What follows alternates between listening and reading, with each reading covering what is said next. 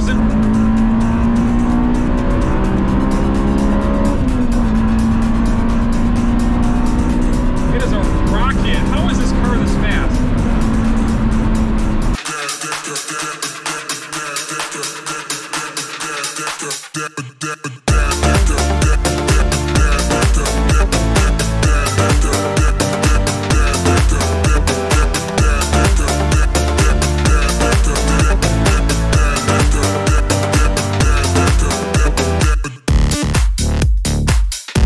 It going everybody? Welcome back to Garage 99. In today's video, we're reviewing a 2000 Honda S2000 and this vehicle has been supplied to us today by Monicatti Auto Sales located up in Chesterfield at 94 in New Haven Road. Now, let me just say, this vehicle is kind of the other vehicle I would have chosen to take instead of my Corvette because these cars are just that good. And honestly, from year to price point, they're actually even more expensive than a C6 Corvette. And that is because of the incredible racing heritage and everything else that goes along with these cars. They honestly are some of the best driving experiences you can ever get from the factory because they are super tight, they're very bouncy. They do actually have a lot of racing components from the factory on this car to make it handle and drive as well as it does. The steering is super tight. The driving position is nice and comfortable. You have no very little blind spots in this car. It's a very tight, small car, and it's actually mid front engine. So the entire front engine assembly is completely behind the front axle. It kind of gives you that mini Viper look to this car where it has the short rear end and long front end proportions. That's what allows it to get that perfect 50-50 weight ratio. Since this is an early 2000, it has the F20 2.0 liter instead of the later year edition that started in 2004 to I believe 08 or 09 with the 2.2 liter. Either way, both engine configurations have about the same horsepower. You're looking at about 240 to 245. And they don't make a lot of torque. I think it's, I'll put the numbers at the bottom here. I don't really remember, but these cars do have your typical Honda VTEC where when you get up to the higher RPM ranges, you do make all that power, which is really cool it's a really fun feature to have in a car that's naturally aspirated because it almost gives you that feeling of being in a force inducted car where you have a different power range within the RPM. I'm not starting off in my usual spot that I would. Still getting on the freeway just the same. We're actually getting on the on ramp right here. Like I said, absolutely zero body roll. This car is bone stock. It, I know it doesn't have anything outside of some tires and wheels. Honestly, it, it feels so good.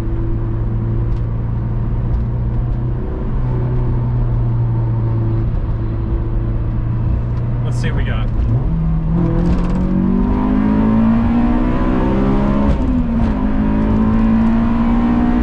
Right up there, 9,000 RPM.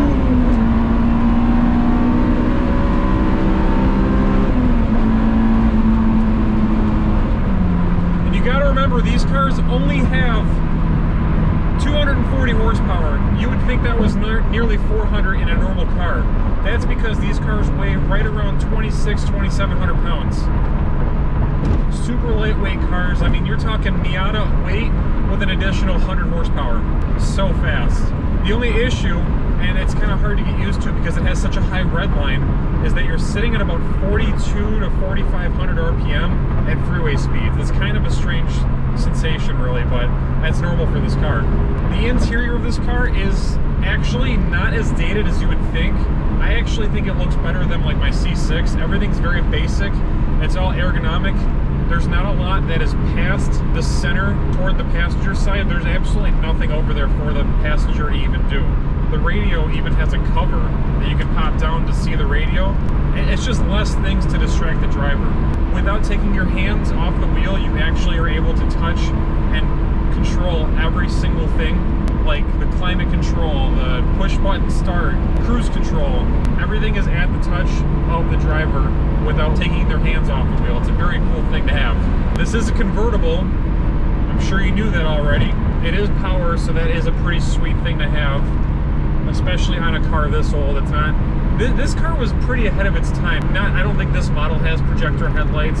Later on, generation has projector headlights, digital dashboards, which I know they had back in the 80s, but this actually feels really responsive and really quick. For the most part though, everything else is pretty manual, pretty bare bones. There's no controls to unlock or lock the doors, so that's all manual. You can reach both sides from one seat though, because this car is not that big like I said. I don't feel like I'm cramped in here. I'm 6'2". I feel like I have plenty of room inside of this vehicle without being cramped. I think that has a lot to do with the fact that the steering wheel is like right up against the dashboard. And I don't know how they figured this out, but there is such an amazing driving position in this car without being able to adjust your seat up or down or having being able to move your steering wheel at all. I mean, it's it's stuck in place. I honestly see why people like these cars. It's only 240 horsepower, and that acceleration was exhilarating enough for me to have fun with it. This car has been on their website for a while, available for sale. I honestly can't believe it has sat as long as it has because it is a 22 year old car and it does not drive or feel like you're driving a 22 year old car. And I gotta be honest, this is the first time I'm actually driving an S2000. The legendary shifter is living up living up to its name. It is the most amazing, short, notchy, easy to shift vehicle I've ever driven. And it even has the push down to go over to reverse slot which is how I think it should be. It's more of a safety feature than just pushing harder to go over to reverse. I know some vehicles have lockouts, but I have heard of vehicles breaking through that lockout. Let's try that acceleration thing one more time.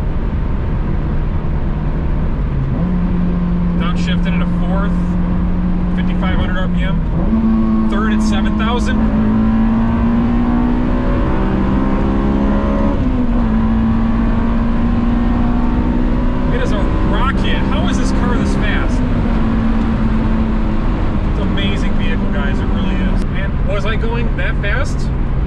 No, it sounds like you're going really fast. You're in a small vehicle.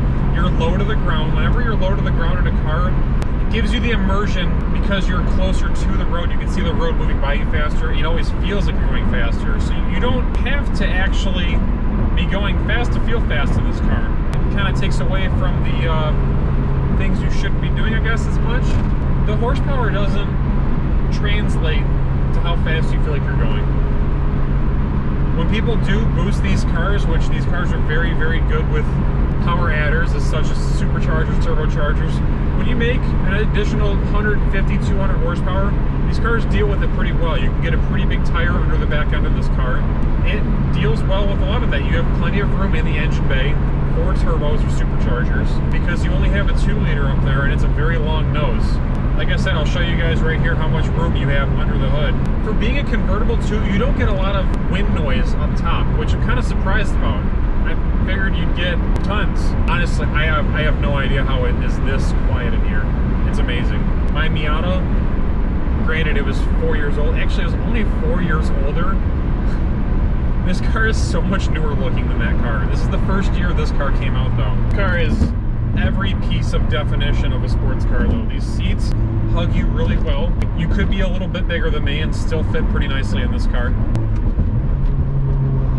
Downshift feels so good.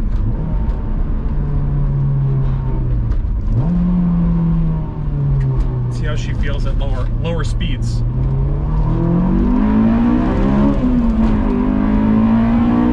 Amazing.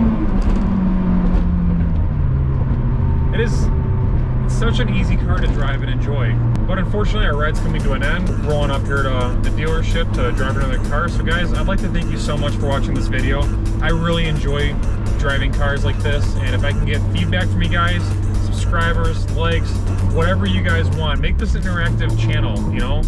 Tell me what you want to see, what you like, what you don't like. I'd love to hear back from you and I would take your feedback into consideration and influence some of the decisions I make guys, thank you so much for watching.